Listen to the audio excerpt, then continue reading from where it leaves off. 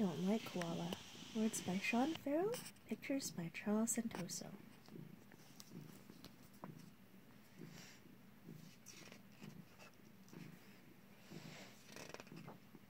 Cassie does not like koala. Those feels why follow Cassie everywhere she goes. Koala is the most terrible, terrible.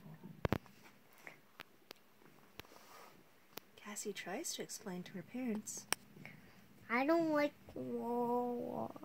but they don't understand. Every night, when it's time to go to bed, Cassie has the same routine. She takes a bath, she puts on her pajamas, she brushes her teeth, and then she tries to get rid of Koala. Here's koala. Cassie puts Koala away. Away is a lot of different places. But every morning, when Cassie wakes up, Koala is always there. In her bed, on her pillow, closer than close.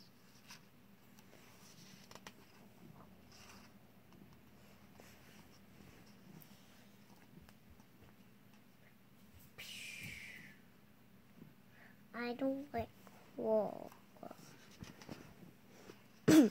Father says, Don't play with Koala like that or you'll lose him. I don't like koala. Mother says, Don't leave Koala behind. You know how you'd miss him. I don't like koala. After snack time, Father says, You must have loved your snack. You ate every bite. What snack? asks Cassie.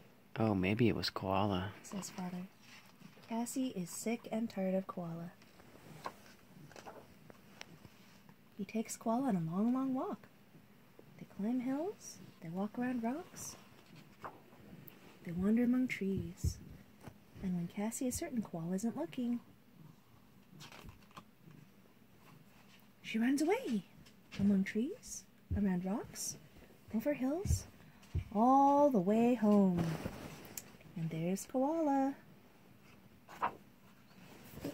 That night, as Cassie dresses for bed, she knows there's nothing worse than Koala.